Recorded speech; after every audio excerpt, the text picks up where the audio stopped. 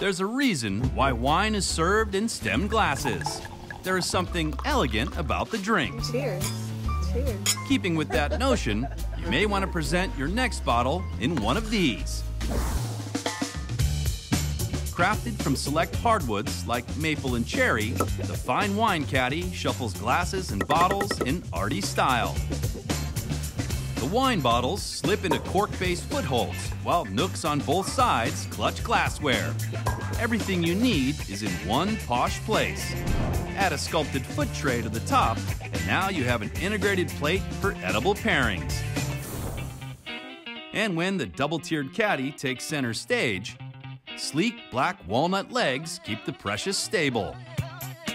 The wood has a water-resistant finish, and the tray is food safe.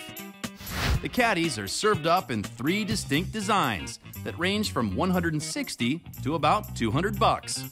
If you want to take happy hour to a whole new time zone, this superfine caddy can be your entree.